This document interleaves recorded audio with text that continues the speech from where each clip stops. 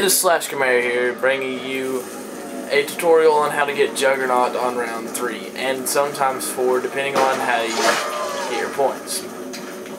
And my main goal is to get it by round 3, just to get the protection out of the way where you can just be protected, and, you know, not have to worry about getting hit twice and being dead like on World at War was, which was somewhat of a um, screw up on their part, not making Juggernaut on the first map, which uh, that was a great map. Don't get me wrong, but it's still somewhat uh, screwed up how they do that.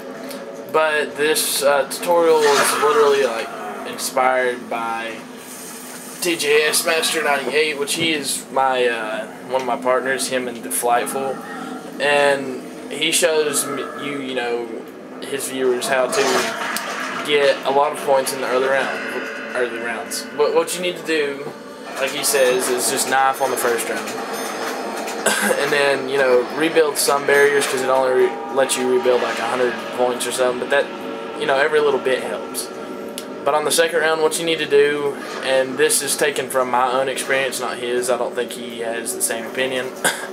but you want to shoot twice, knife, and then, um, you know, knife him again which that may seem stupid because he doesn't die right off, but every other shot you want to do three, you want to go two, three, two, three. So um, that, that seems to get you a lot of points because he dies instantly on the third, but then on this one, you know, you just want to say tat tat, you know, and then knife. But sometimes they die if they're on fire already, but honestly, it's not hard to get points if you're, you know, an experienced, then you could, you know, not get a lot of points easily, but I don't know why the uh, why he didn't die. But I don't tend to use a lot of foul language, so you can just you know go ahead and play this through your house if you want to. You know, not have to wear headphones and worry about your family hearing me curse or whatever you want to say. But uh, yeah, you just need to focus on get you know a few points like by shooting, like I said, every other third, like you know, two three, two three, which is proven to be um, like accurate. In my opinion, I've pre like I've used it so many times, it's been like proven to be accurate. Not by scientists or anything, but in my own experience. So, uh, yeah, I like tried to do this video so many times, but I get so not really nervous, but I screw up and when I'm talking and I play. Like if I play with friends, you can ask any of them. Like I will never talk at all when I'm playing, which I probably just screwed myself. No, never mind.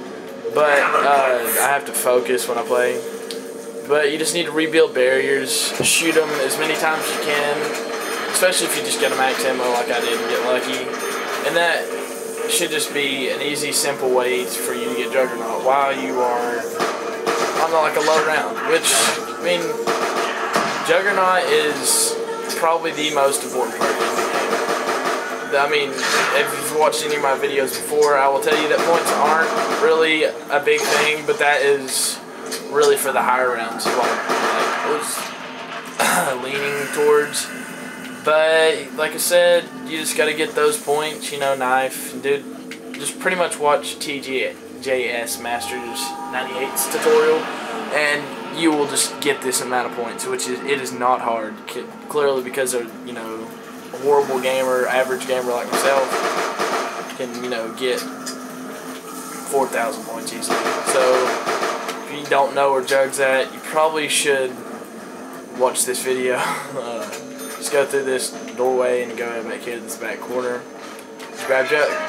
Well, that is pretty much it for this video. Uh, if you want to see more zombies videos, just let me know. Uh, specify if you want to. What you want to see, like higher rounds, 40 plus rounds.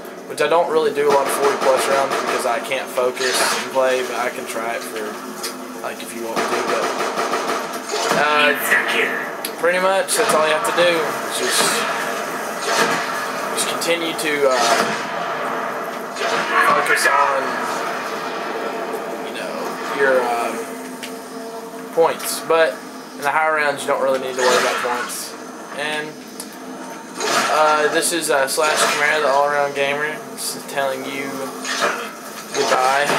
um, I just want to say, like I always try to remind people, I do tend to get mad. Yeah, everybody does video games, but if you can, just try to have fun. And if you're having fun, just play with friends. You'll have fun, and you won't get pissed off as much. So uh, I will talk to you later, and please continue watching my videos, like and favorite, and or subscribe if you enjoyed, and leave comments in the section below because I would like to hear what you have to say about my videos. Uh, thank you for watching, and we are.